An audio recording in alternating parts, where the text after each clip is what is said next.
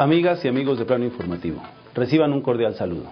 Ante el cobarde asesinato del doctor Rodolfo Torre Cantú, candidato a la coalición Todos Tamaulipas a la gubernatura de esa entidad, está claro que México se encuentra ante un momento crítico que demanda la unidad de todos los sectores sin regateos y sin condicionantes.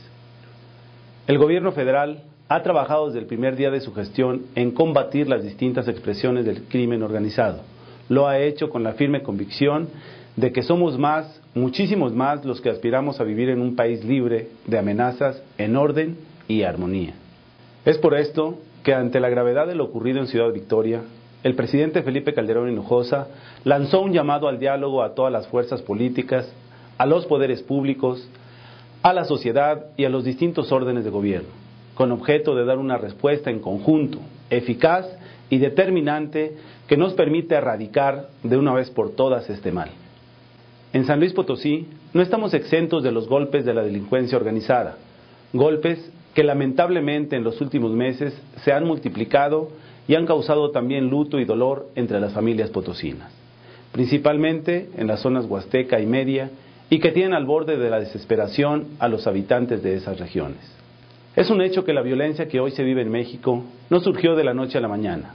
Tiene hondas raíces que vienen de muchos años atrás y son consecuencia de un largo proceso de descomposición social y política que es urgente remediar. Esta es la realidad que vive México, realidad que demanda una acción inmediata de todas las fuerzas políticas y las autoridades. La respuesta debe ser contundente y no debe dejar dudas a nadie, pero sobre todo a los delincuentes, de que los mexicanos no nos vamos a dejar doblegar ante nada ni ante nadie. En esta hora, México requiere unidad y decisión. Vamos a dejar atrás la división y los enconos, y por encima de nuestras legítimas diferencias, vamos juntos a defender a nuestra nación. Nadie más lo va a hacer. Es momento de extender la mano y demostrar a esos malos hombres y mujeres que nos quieren ver de rodillas que nuestra voluntad y orgullo son inquebrantables y que juntos los vamos a vencer.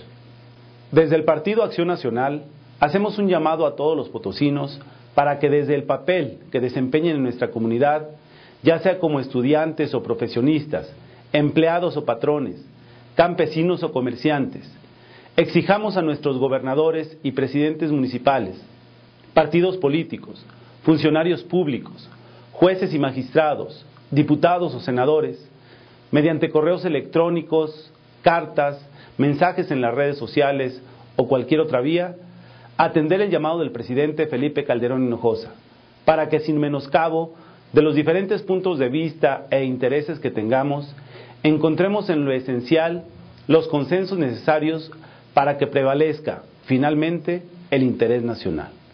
Hasta aquí mi comentario, amigas y amigos. Gracias por su atención.